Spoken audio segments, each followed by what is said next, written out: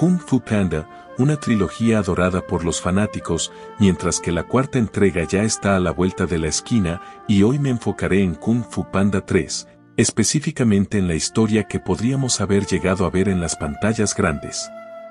En mi investigación, la historia se desarrollaría según las indicaciones de la directora.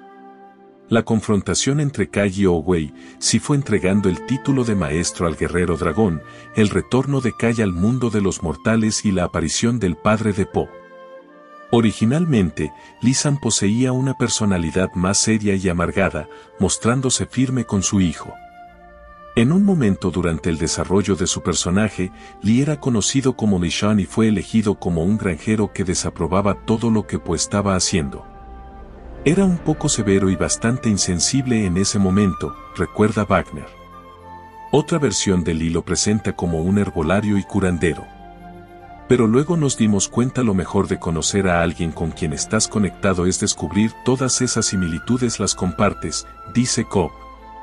Cuando finalmente estaban dando vueltas y simplificando lo que Lee debería ser, ante todo, un padre, el equipo de la historia tuvo que tener cuidado de hacer claro que no solo irrumpió para llevarse a su hijo.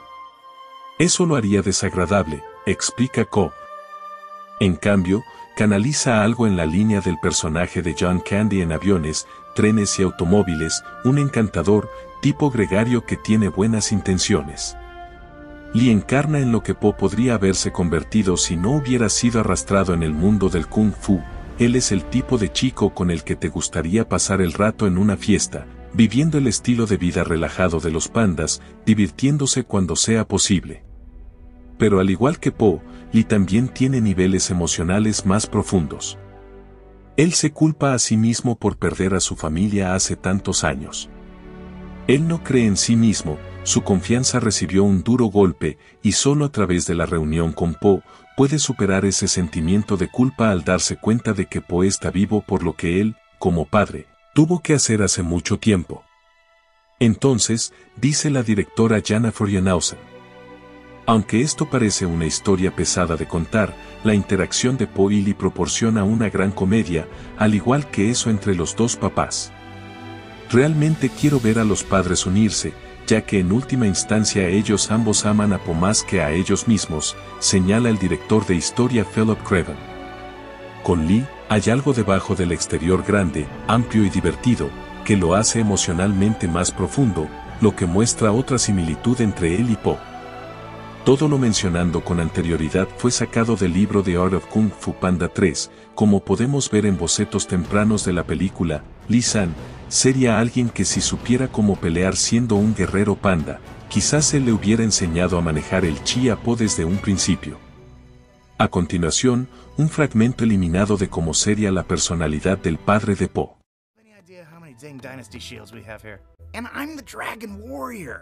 Look, let me show you some of my moves.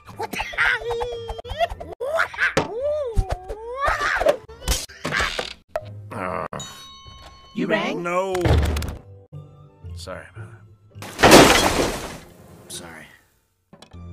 Sin embargo, al final, se cambiaría su personalidad para que fuera más empático con su hijo, mostrando la relación padre-hijo divirtiéndose en el palacio de Jade, jugando con los artefactos de kung fu de toda China que tenía el palacio.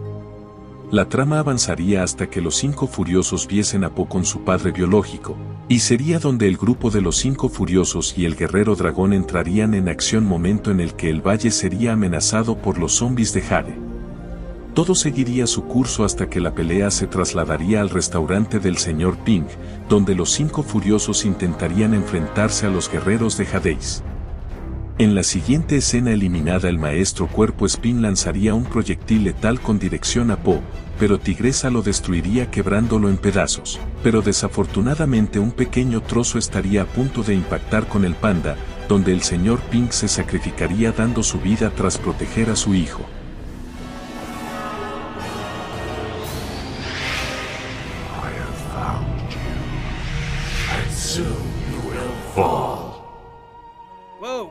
creepy. Stop him! Oh, are you all right? You okay?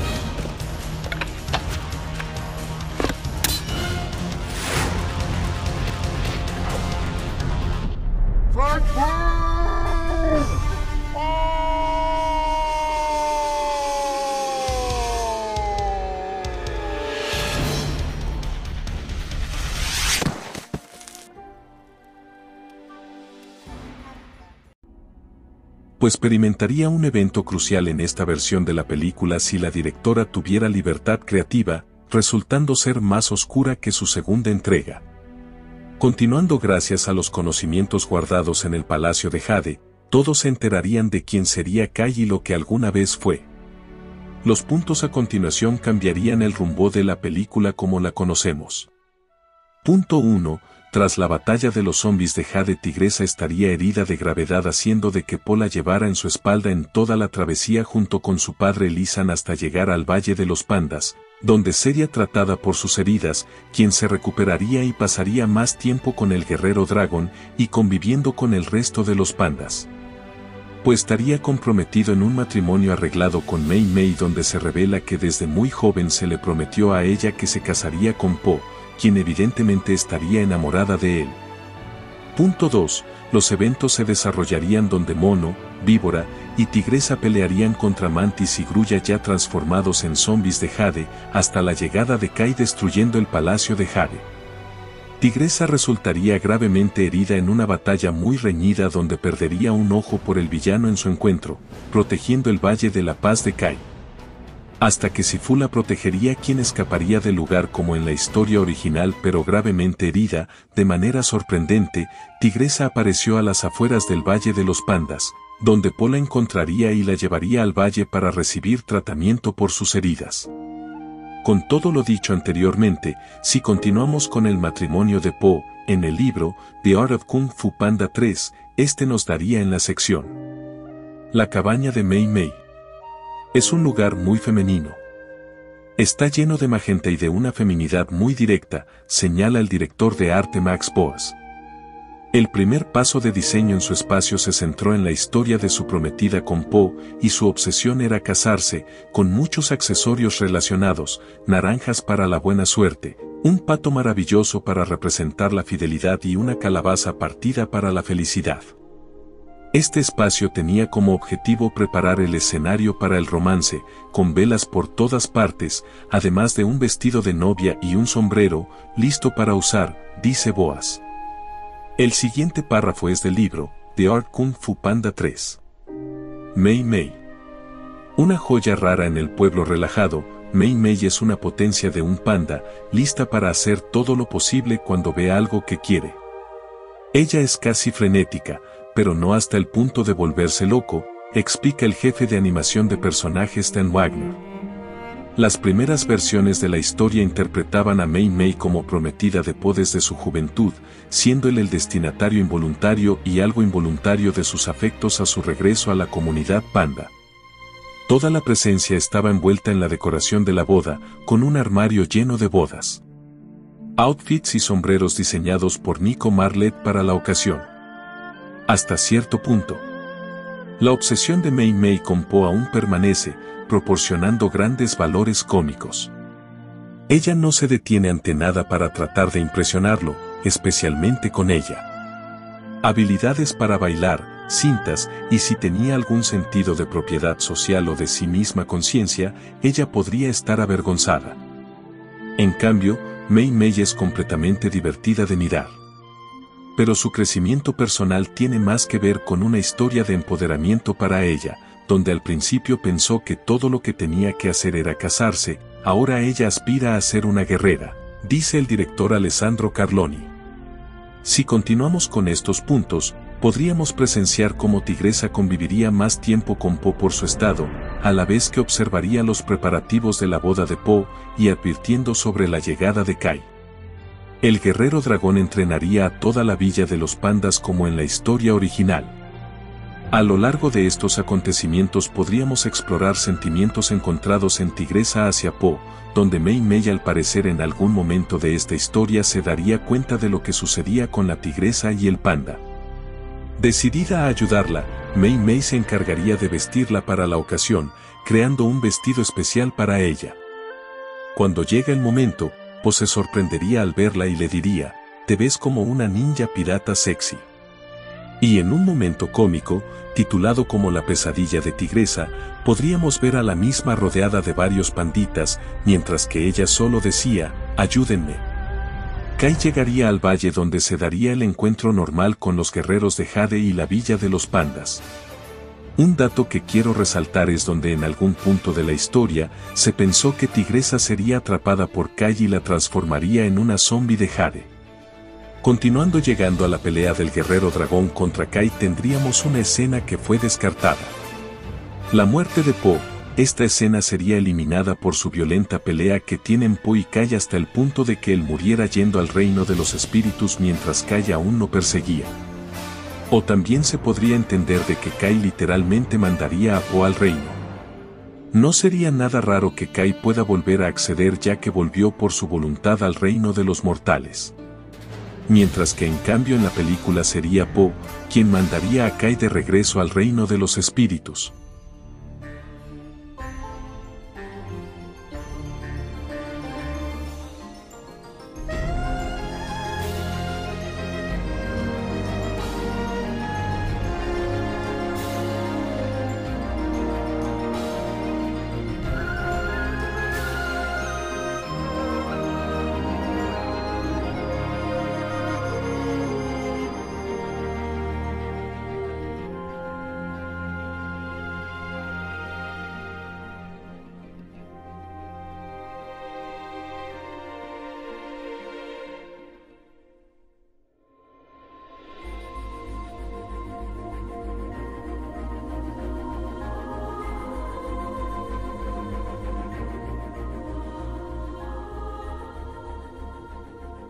Toda la villa daría su chi tal cual lo vemos en la película, obteniendo una evolución de Po como maestro del chi. La pelea sería mucho más larga y extensa, donde tendríamos artes oficiales donde Kai tomaría una forma gigante con la cual haría frente al panda teniendo una batalla más épica. La pelea terminaría dándonos otro regreso alterno al mundo mortal, donde se observaría que todos los pandas estarían resguardados en la casa de San, ya que este sería en las montañas como si fuera en un mirador.